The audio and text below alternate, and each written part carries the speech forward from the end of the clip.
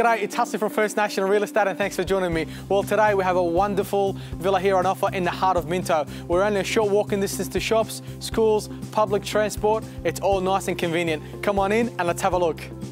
Nestled in one of Minto's quiet and conveniently located streets sits this neatly tucked away villa positioned in a small, friendly complex of six. The generously proportioned living area has an abundance of natural light that fills the room and is positioned to the rear of the home.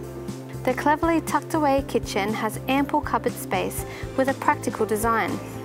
The accommodation of this home includes three fantastic sized bedrooms, all with mirrored built-in robes.